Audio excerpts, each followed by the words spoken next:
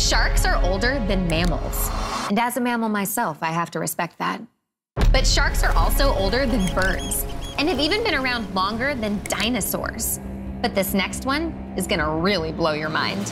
Sharks are older than trees. Hi, I'm Miranda Cosgrove. Welcome to the STEM Loft, where the landlord said it wasn't haunted and was honestly really weird about it.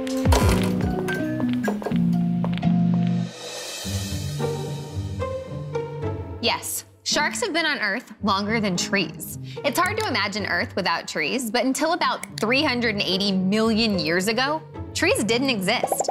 And since we can trace sharks back to around 450 million years ago, sharks have trees beat by about 70 million years.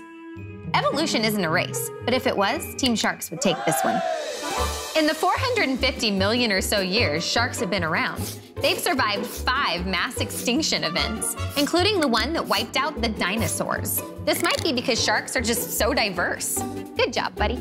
You probably picture sharks as apex predators swimming near the surface and eating seals. But they live in all sorts of aquatic environments, from the deep dark ocean to reefs to rivers, eating everything from crabs to plankton to whales. Once those evolved. Seasons change and tastes evolve, but a classic design stands the test of time. This is true for vintage dresses and sharks. And sharks have been a winning design for a really, really, really, really long time. Go Sharks!